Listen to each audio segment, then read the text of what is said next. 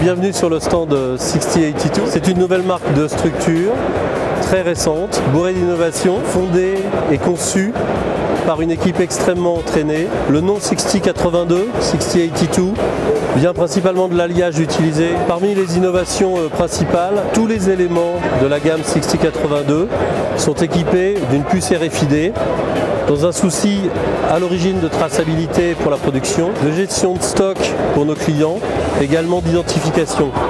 Il y a également une étiquette avec un QR code et un numéro de série qui est gravé dans l'aluminium sur chaque élément.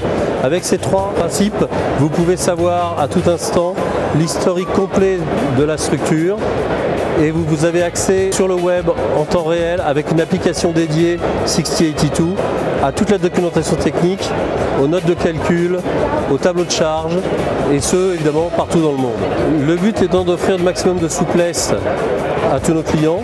La gamme se compose d'une structure à vocation décorative d'environ 200 mm jusqu'à des structures bien plus imposantes comme la XL101 qui est évidemment destinée à de plus grandes portées, à de très fortes charges. La série 30 et la série 40 qui sont les best-sellers du marché, les plus communément vendus, en triangulaire, en carré ou en échelle. Nous offrons également toute une famille de tower, série médium, large ou X large. Bien évidemment, toutes ces structures sont en manchonnage conique puisque un des créateurs de l'entreprise euh, est également à l'origine de l'usage du manchon conique sur le marché, toutes marques confondues.